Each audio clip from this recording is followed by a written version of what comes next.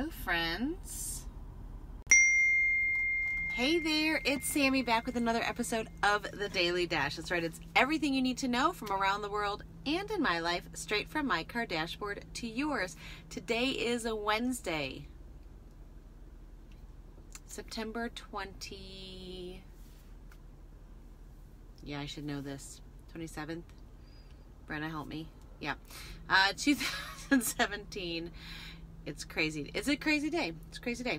It's okay. That's all right.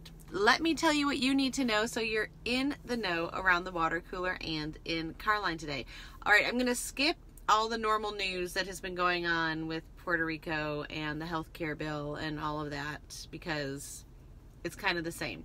Um, what I will tell you that's interesting is that Sports Illustrated has a new cover um, with a lot of players from different uh, sports linking arms.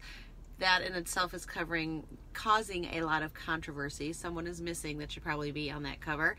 Another Sports Illustrated piece of news that's interesting is that for the first time they're having a second generation swimsuit model, meaning uh, Christie Brinkley's daughter, Sailor, will be in the issue this year. Interesting. Uh, what else did I want to tell you about? There was a very sweet story about a homecoming dance brought to the hospital um, so friends could help a friend of theirs who is um, who has leukemia not miss out on his homecoming senior homecoming dance. There was something else I wanted to share.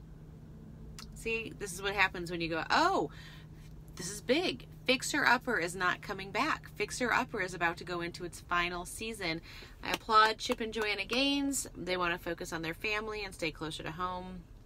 Amen, brother and sister. Okay, if you missed any of that, you can always catch up below. Of course, we've got it on samicone.com, the Sami Cone on Twitter and Instagram, or on YouTube, of course. So, what's going on? Sick and tired. I am not sick. I'm a little tired. Uh, I had to go to school to pick up my son yesterday for another vomiting episode.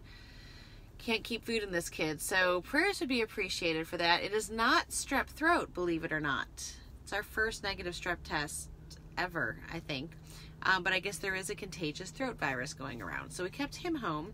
And then some other things going on last night. We ended up just keeping both kids home, even though it's benchmark week.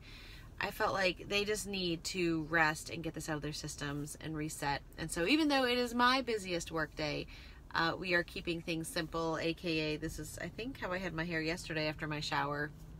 Yeah, slept in. Do have a cute new t shirt on from Project 615, though. Do you see that? See the Tennessee stars there? It's a bestseller. I just realized that I needed it. So now it's mine. Okay.